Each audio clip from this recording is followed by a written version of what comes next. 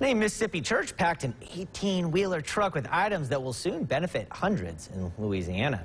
The Salvation Army partnered with Word of Life Church to help provide several items to Hurricane Ida victims. The drive took place at the Lakeland campus and Highland Colony campus as well.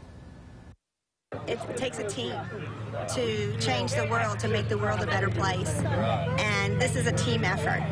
And uh, it's a community effort. It's important for us as a church because that's what we enjoy to do. It's a value. And it's not just for us as a church, but the, for the community to come together and unite uh, because we are better together. And for more information, you can go to our website, WJTV.com, to learn where you can go donate.